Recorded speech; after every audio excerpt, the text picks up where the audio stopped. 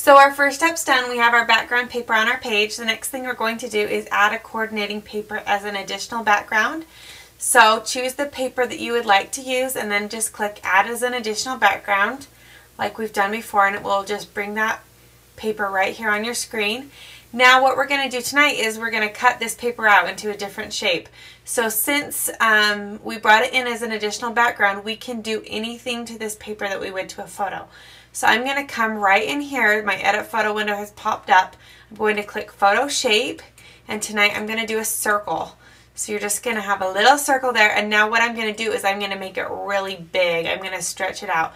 This is the fun thing about um, photo shapes that you can totally play around with them and edit them. So I'm going to make it really big and then I'm going to scoot it over. So you want it not quite halfway, about like that. So you can go ahead and you can add a circle like I've done or you can do another shape if you like. Or you don't have to do any if you don't want to do that either. Um, but go ahead and get to this point and then we will add photos.